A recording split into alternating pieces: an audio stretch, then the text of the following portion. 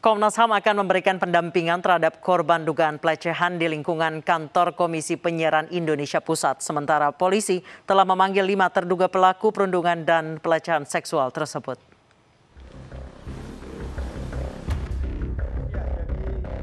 Komisi Nasional Hak Asasi Manusia akan mendampingi korban dugaan kekerasan seksual berinisial MS. Komnas HAM menjadwalkan kembali agenda penerimaan aduan korban. Keterangan korban menjadi prioritas sebelum Komnas HAM mengambil langkah selanjutnya yakni memanggil pihak KPI dan kepolisian guna menindaklanjuti kasus yang sudah terjadi sejak tahun 2012.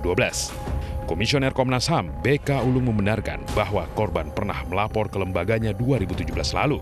Saat itu korban melapor melalui email dan direspon oleh bagian pengaduan. Komnas HAM memastikan akan memberikan pendampingan terhadap korban mulai dari keamanan, pemulihan trauma hingga kesehatan korban. Ya, yang jelas begini. Yang pertama kita akan upayakan adalah perlindungan keamanan. Kita komunikasi nanti dengan LPSK eh, supaya juga membantu eh, perlindungan keamanan bagi korban. Itu yang pertama. Yang kedua, pendampingan. Pendampingan untuk juga mulai memulihkan trauma yang ada. Dan juga saya kira menjaga keberanian. Sebelumnya, seorang pegawai Komisi Penyiaran Indonesia mengaku menerima pelecehan seksual dan perundungan oleh sesama rekan sekantor. Polisi memanggil lima terduga pelaku perundungan dan pelecehan seksual tersebut. Dugaan perundungan dan pelecehan seksual telah terjadi sejak tahun 2012. Korban pun mengaku telah melapor ke atasannya, namun malah dipindahkan divisi. Setelah informasinya tersebar, Polres Jakarta Pusat turun tangan menyelidiki kasus tersebut. Beredar di media sosial video perbuatan asusila seorang pengendara motor terhadap seorang perempuan di Jalan Kota Malang, Jawa Timur. Polisi memburu pelaku yang diduga mengidap penyimpangan seksual.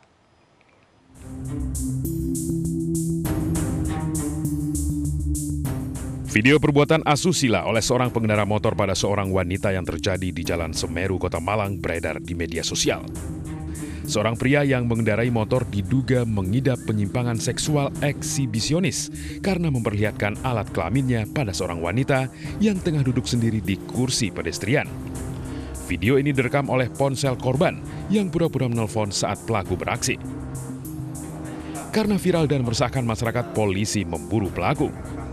Polisi telah mengantongi identitas sepeda motor dan ciri-ciri pelaku.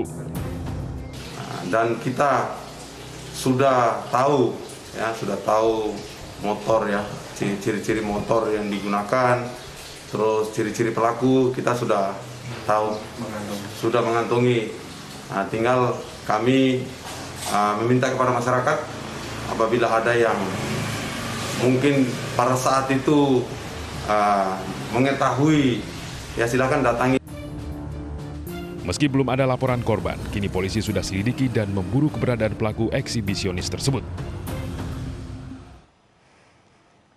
Sementara itu di kota Waringin Barat, Kalimantan Tengah, pria eksibisionis yang meresahkan warga ditangkap. Pelaku yang diviralkan korbannya itu tertangkap tangan ketika sedang menonton video porno di sebuah taman.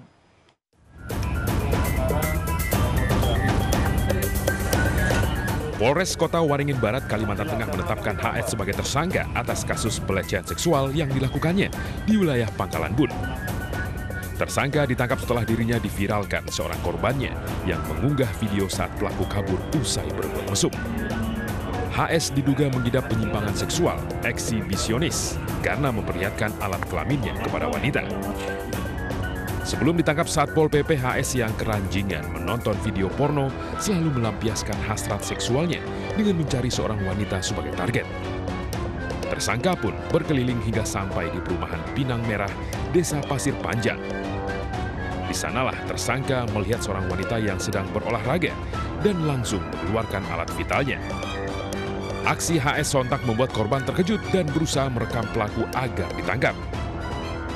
Keesokan harinya, HS ditangkap Satpol PP yang curiga dengan gelagat pelaku di sebuah taman. Pelaku kedapatan sedang menonton video porno. Petugas Satpol PP teringat akan video yang viral mengenai seorang pria pelaku eksibisionis yang kabur setelah aksinya kepergok. Saya udah kebiasaan dari mulai SMP hmm. kebiasaan masturbasi modus atau alasan sampai ngelakuin kayak gini kenapa? Sering nonton dulu si tersangka HS ini menonton film melihat film porno di handphone pelaku di daerah Pangkalan Bun Park. Kemudian setelah menonton film porno itu mungkin nafsu birahinya muncul sehingga kemudian si pelaku ini e, mencari perempuan mencari seorang perempuan untuk dibayangkan tubuhnya Pelaku dikenai pasal 281 tentang norma kesopanan di muka umum dengan ancaman penjara hingga 10 tahun.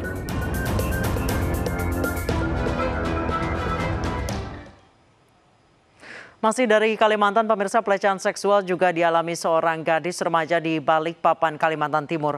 Pelakunya merupakan seorang lansia yang juga tetangga korban.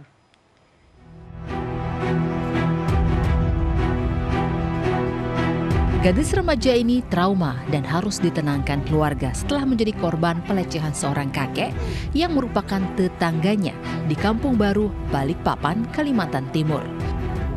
Korban mengaku dilecehkan saat melintas di rumah pelaku yang sedang menjemur pakaian. Korban yang ketakutan karena perbuatan pelaku langsung melapor ke orang tuanya. Aparat Polresta Balikpapan yang mendapati laporan kemudian menjemput pelaku di rumahnya yang sudah dipadati warga yang geram dengan aksi bejatnya. Pelaku yang bersembunyi dalam kamar lalu dievakuasi agar tidak diambuk warga dan melewati jalan pintas. Pelaku yang berusia 53 tahun ini kemudian dibawa ke Polresta Balikpapan. Namun, polisi tidak menahan pelaku dan diminta wajib lapor setelah dijamin anaknya tidak akan kabur dan menghilangkan barang bukti. Polisi juga meminta korban dan keluarganya untuk dimintai kesaksiannya. Yang kita berhak menahan, tapi karena kita masih mengumpulkan proses penyidikan, makanya kita uh, sementara kita pulangkan dengan catatan wajib lapor dan ada penjaminnya anaknya sendiri setiap Senin dan Kamis uh, wajib lapor. Ya. Dugaan sementara ada korban lainnya. Untuk sementara yang beredar di medsos itu dan dari mulut ke mulut memang ada korban lain, tapi silakan kalau memang ada korban lainnya silakan melapor ke kami. Khusus di unit Selama proses wajib lapor ini, polisi juga menunggu hasil visum korban yang dilakukan di Rumah Sakit Bayangkara, Kalimantan Timur. Polisi tetap akan mengawasi pelaku yang jika terbukti mengulangi perbuatannya pada orang lain akan langsung ditahan. Dua kelompok pemuda kembali terlibat tawuran di perlintasan rel kereta api Manggarai, Jakarta Selatan. Selengkapnya sesaat lagi tetaplah bersama kami di Realita.